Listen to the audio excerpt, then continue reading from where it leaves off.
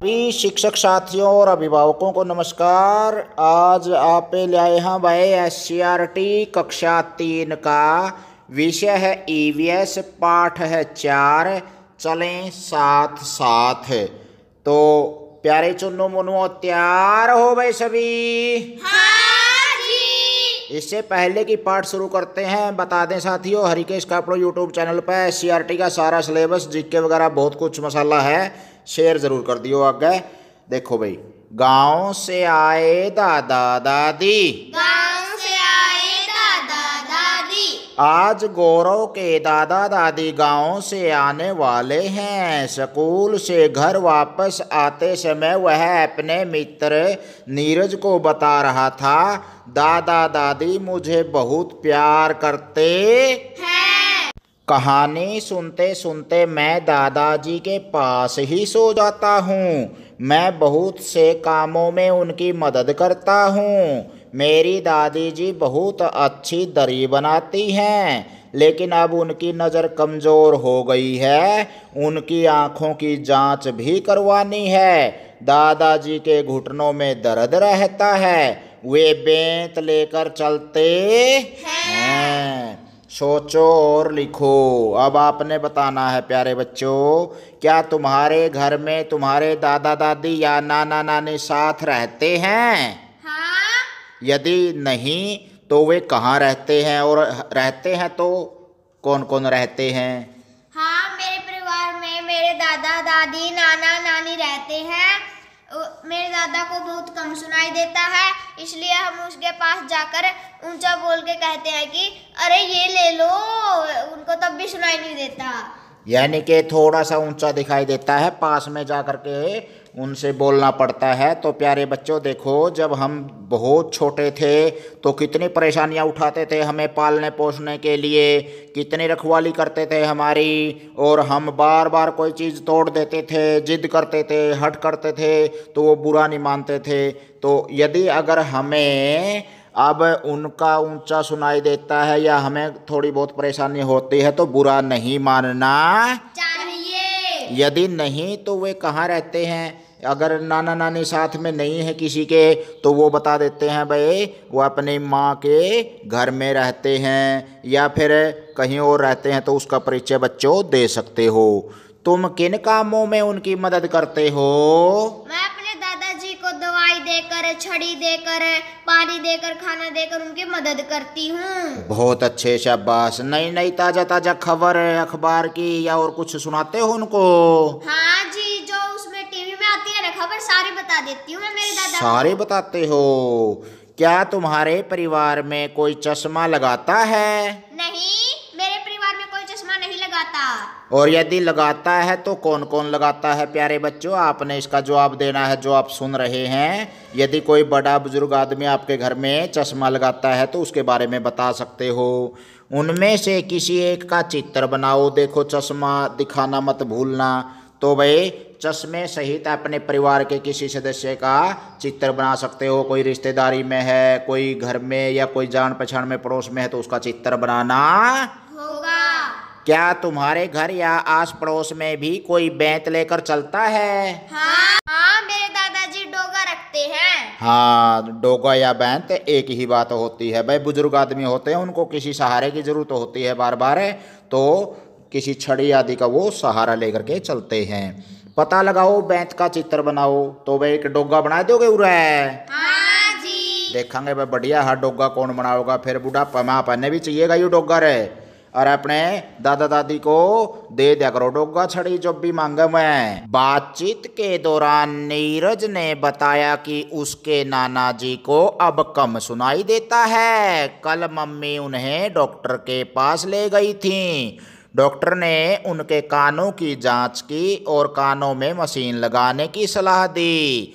अब नाना जी नीरज के साथ रोज पार्क में सैर करने जाते हैं। तो भाई, नीरज के नाना जी हैं, चित्र में दिखाई दे रहा है और ये सैर करने के लिए जा रहे हैं। इनको कम सुनाई दे रहा है और कानों में इनके मशीन लगाने की सलाह डॉक्टर ने दी है। सोचो और लिखो, क्या तुम्हारे परिवार के किसी सदस्य को कम सुनाई देता है? हाँ दादाजी को कम सुनाई देता है। यदि हाँ तो तुम उसे अपनी बात कैसे समझाते हो? हम उन्हें हाथों के साथ इशारे करके समझा देते हैं उनके पास आकर ऊँचा बोलकर समझा देते हैं। हाथों से इशारा करके या ऊँचा बोल करके पास में आकर के समझा देते हैं। प्यारे बच्चों अगर ऊँचा सुनाई देता है किसी बुज़ुर्ग व्यक्ति को तो बार बार प्रयास करना चाहिए हमें अपनी बात समझाने का। हमें भी बुज़ुर्ग होना है और अपने बुज़ुर्गों को जितना आदर, मान, सम्मान करेंगे, उतना ही हमें आशीर्वाद, यश, विद्या मिलेगी। क्योंकि संस्कृत में कहा गया है अभिवादनशील नित्यम वर्धोप वर्धोपसेविन चतवारी तस्य वर्धनते आयुर्विद्या यशोबलम। जो बड़े बुज़ुर्गों की सेवा करता है, उसकी चार चीज़ें बढ़ती हैं। आयु विद्या यश और बल। तो हमें भी अपने बुज़ुर्गों की सेवा करनी चाहिए। भगवान का रूप होते हैं घर के बड़े बुज़ुर्ग और आचार्य। विद्वान व्यक्ति कोई भी हो चाहे। दादी से बातचीत। दादी से बातचीत। जब गौरव घर पहुँचा तो उसके दादा दादी आ चुके थे। गौरव ने उनके पैर छुए और उनसे लिपट गया। दादा दादी ने भी उसे प्यार से गले लगाया। दादी जी ने गौरव को बताया कि उनके पड़ोस में रहने वाली अनिता, जिसे बचपन में पोलियो हो गया था, अब व्हील चेयर से स्कूल जाती है। उसने अपने स्कूल में दौड़ प्रतियोगिता में भाग लिया था। उसे पुरस्कार भी मिला था। दादी ने यह भी बताया कि अनीता को पढ़ना अच्छा लगता तो प्यारे बच्चों, दादी ने बताया गौरव को कि उनके पड़ोस में एक अनिता नाम की लड़की थी, जो पोलियो हो गया था बचपन से ही, दिव्यांग हो गई थी वो। अब वो व्हील चेयर से, पहिए वाली कुर्सी से स्कूल में जाने लग और साथ में पढ़ती है बच्चों के साथ। वहाँ के अध्यापकों ने, बच्चों ने माता पिता ने उसका साथ दिया और वो मुख्य धारा में आकर के बच्चों के साथ पढ़ाई कर रही है बहुत अच्छे तरह से। उसने अपने व्हील चेयर के द्वारा दौड़ प्रतियोगिता में भाग लिया था और पुरस्कार भी मिला था। तो प्यारे बच्चों, अगर किसी भी बच्चे के अंदर इस तरह की छोटी मोटी अगर कोई कमी है शरीर में तो हिम्मत नहीं हारनी चाहिए और हौसला रखना चाहिए समाज को भी और अपने माता पिता बड़े, शिक्षक सभी साथियों को उसका साथ देना चाहिए। आगे देखो भाई। गौरव ने कहा हाँ दादी जी, मेरी कक्षा में पढ़ने वाला पवन देख नहीं सकता। वह गाता बहुत अच्छा है। नाटक व दौड़ में भाग लेता है। वह हमारे साथ हँसी मज़ाक भी खूब करता है। बाहर जाते समय वह एक सफ़ेद छड़ी लेकर जाता है। उसने बताया कि उसके जैसे कई बच्चे कैसेट व कंप्यूटर पर सुनकर तथा ब्रेल लिपि से पढ़ते हैं। मिलकर करो। मिलकर करो। छूकर पहचानो और बताओ प्रत्येक बच्चा अपने घर से कोई एक फल या सब्ज़ी लाए। ले आओगे भाई? हाँ जी। बच्चे बारी बारी से आँखों पर पट्टी बांधकर फल या सब्ज़ी को छूकर या सूंघ कर पहचाने उनके नाम भी बताएँ। छू कर बता दोगे भाई? हाँ जी बता देंगे। तो जो भी सब्ज़ी है फल है कुछ में तो खुशबू आती है उसे पहचान सकते हैं। जैसे फल है आम का खुशबू आ जाएगी। इसी तरह से जैसे सब्ज़ी है अपनी प्याज है उसमें से आ सकती है हमें महक। है और कुछ को छू करके पहचान सकते हैं। आलू है टमाटर है या फिर बैंगन है कद्दू घिया इस तरह से हम पहचान सकते हैं। आँखों पर पट्टी ज़रूर बांधनी है भाई वैसे नहीं ठीक है ना? नींबू की पहचान सकूँ। नींबू भी पहचान लेगी शाबाश सही नाम बताने पर अन्य बच्चे तालियाँ बजाएँ। तो दूसरे बच्चों ने तालियाँ बजानी है भाई जब जब वो सब्ज़ी का सही नाम बता देगा छू करके या सूंघ करके, बच्चे उस फल या सब्ज़ी के बारे में कोई अन्य जानकारी भी दें तो बच्चों को आपस में चर्चा करनी चाहिए, जो अगर कल स्कूल में लाओगे, आप कक्षा में लाओगे या अपने घर पर पहचानोगे तो उसके बारे में चर्चा भी करनी है, ये सब्ज़ी कहाँ उगती है, कैसे खाई जाती है, कच्ची खाई जाती है कि पक्की खाई जाती है इसको पकने में कितना समय लगता है? कब बोई जाती है? कब काटी जाती है? और इसको बनाने के लिए क्या क्या करना पड़ता है? तो सारी जानकारी आपको होनी चाहिए। तो प्यारे बच्चों एक खाने के अंदर दे रखा है आओ ब्रेल के बारे में जाने। आओ वे लोग जो देख नहीं सकते, उनके पढ़ने का एक खास तरीका होता है, जिसे ब्रेल कहते हैं। ब्रेल लिपि में मोटे कागज़ पर उभरे हुए बिंदु बने होते हैं। उभरे होने के कारण इन्हें छूकर पढ़ा जा सकता है। यह लिपि छह बिंदुओं पर आधारित होती है। कितने बिंदु होते हैं भाई इसमें? छह ब्रेल एक मोटे कागज़ पर एक नुकीले औज़ार से बिंदु बनाकर लिखी जाती है। ब्रेल शीट पर हाथ फेर कर पढ़ा जाता है। तो ये प्यारे बच्चों, जैसे जो बिल्कुल अंदर से काले अक्षर हैं, वो तो उभरे हुए हैं और जो सफ़ेद अक्षर हैं, वो उभरे हुए नहीं हैं। छह छह बिंदु हैं उनमें से जो उभरे हुए हैं, काले अक्षर दे रखे ए का कौन सा काला है भाई? पहला कोने वाला, इसी तरह बी का दो काले हैं, सी के ऊपर के दो काले हैं, और डी के ऊपर के दो काले और एक साइड का दाएँ तरफ़ का काला है। इस तरह से आप ए की पहचान कर सकते हो, बी की, सी की, एकदम नहीं आएगा आपको भी ये। ये धीरे धीरे अभ्यास करने से आएगा। और इसी तरह के पेज होते हैं ब्रेल लिपि में किताबों के फिर जो आँखों से जिसको दिखाई नहीं देता या कम दिखाई देता समस्या है जिनको आँखों की वो ब्रेल लिपि से ही सारी बातें पढ़ते हैं किताबें पढ़ते हैं। सर मैंने तो है नहीं ब्रेल लिपि में ए बी सी लिखना है क्या? ए बी सी लिखना है क्या? बेटा, अभ्यास करोगे तो तुम भी ये ब्रेल लिपि सीख सकते हो। ये लिपि का मतलब होता है बनावट अक्षरों की कैसी है। और ये हमारे जैसे किताबों में अक्षर लिख रखे हैं, उसकी बजाय, क्योंकि हम तो देख सकते हैं, इनको पढ़ सकते हैं। अगर किसी को देखने में समस्या है तो उनके लिए छू कर पहचानने की लिपि है ये। अक्षरों को छू करके पहचाना जाता है, और वो ऊपर उठे हुए अक्षर होते हैं, उसको ब्रेल लिपि कहते हैं, जो एक ब्रेल नामक आदमी ने बनाई थी। समझ में आया भाई? आ गया जी। आ गया। आगे देखो भाई। आओ ये भी करें। आओ ये भी करें। एक कागज़ का एक टुकड़ा लो। बड़ों की सहायता से उस पर कील की नोक से कोई खास आकार बनाते हुए थोड़ी थोड़ी दूरी पर छेद करो। बड़े की सहायता ज़रूर लेनी है भाई कील का काम करो पहने हुआ है नहीं तो हाथ में चोट खा लोगे के भी? हाँ जी।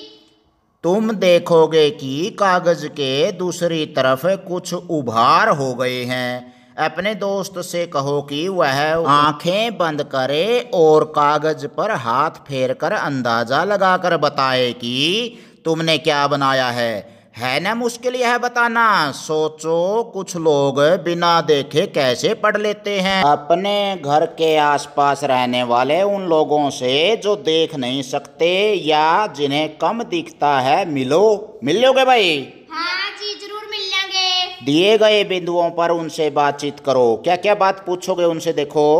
जब तुम अपने घर से कहीं बाहर जाते हो तो तुम्हें क्या परेशानियाँ आती हैं? ऐसा प्रश्न पूछना है भाई। जिनको आँखों में समस्या है तो क्या क्या परेशानियाँ आती हैं घर से बाहर जाने के बाद? न्यू पूछ लोगे के? पूछ लेंगे जी। तुम उन्हें कैसे दूर करते हो? एक ये प्रश्न पूछना है। उस व्यक्ति से जो आँखों में परेशानी है उससे ये पूछना है कि भाई उस समस्या को वो कैसे दूर करता है फिर वो अपने अनुभव बताएगा। पैरों की आहट सुनकर तुम कैसे जान लेते हो कि कौन व्यक्ति कमरे के अंदर आया है? ये भी प्रश्न पूछना है भाई। पूछ लोगे नहीं? ठीक है जी पूछ लेंगे। आपका भी अनुभव बढ़ेगा और उसका अनुभव वो बांटेगा। क्या तुम टीवी पर दिखाए जाने वाले कार्यक्रमों को सुनकर समझ लेते हो? कैसे? तो ये प्रश्न पूछना आपने भाई टेलीविज़न पर जो कार्यक्रम आवा हैं उनको कैसे समझते हैं वो? कौन सा तरीका है उनका ज्ञान ग्रहण करने का? देखो प्यारे बच्चों हम आँखों से देखते हैं तो भी ज्ञान ग्रहण करते हैं कानों से सुनते हैं तो भी ज्ञान ग्रहण करते हैं। नाक से सूंघते हैं तो भी हमें ज्ञान मिलता है और जीभ से चखते हैं तो भी ज्ञान मिलता है और हमारी त्वचा से हाथों से जो हमें अनुभव होता है ठंडा गर्म है वो भी हमें ज्ञान होता है। आगे प्रश्न पूछना है आपने उनसे क्या तुम केवल सुनकर अपनी पढ़ाई कर लेते हो? तो वो अपना अनुभव बताएगा आपको जो आस पड़ोस में आपके पास रहता है जिसको आँखों में समस्या है कैसा अनुभव होता है उनको पढ़ाई करने में? तुम किस किस तरीके से सुनकर पढ़ाई करते हो? तो ये भी प्रश्न आपने पूछना है। तो भाई ये आठ दस प्रश्न है, प्यारे बच्चों। ये आपने उस व्यक्ति से पूछने हैं जिसकी आँखों में कोई न कोई दिक्कत है, समस्या है और जो कहीं न कहीं दिव्यांग है आँखों से।